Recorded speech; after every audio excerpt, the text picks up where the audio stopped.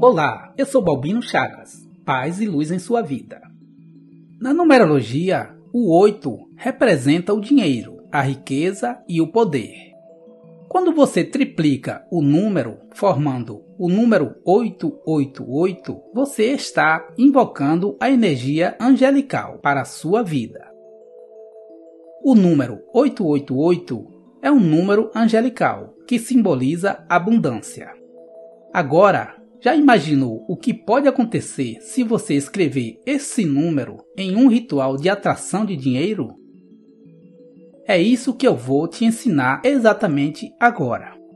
Eu vou te ensinar duas formas de usar a força do número 888 para atrair dinheiro para a sua vida. Antes de prosseguir com o ritual, é importante que você clique no like neste momento para ajudar com a divulgação desse conteúdo eu sempre trago vídeos com rituais de prosperidade, amor e riqueza. Então, se você quer receber estes vídeos novos, se inscreva e ative o sininho das notificações.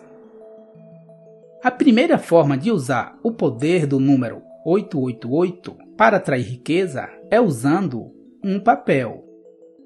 Pegue um pedaço de papel e uma caneta de cor verde ou azul. De um lado do papel, escreva o seu desejo, usando o modelo abaixo. Eu aceito que os anjos da abundância me enviem 10 mil reais, inesperados até o fim deste mês. Estes 10 mil reais inesperados trarão felicidade e alívio imediato. Eu agradeço aos anjos da abundância pelo dinheiro que está chegando.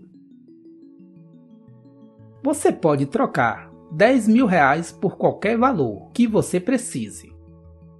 Agora você vira o lado do papel e escreve o número 888.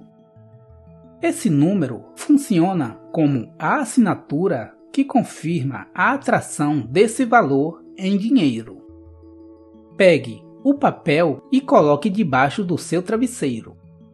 Deixe lá durante oito dias.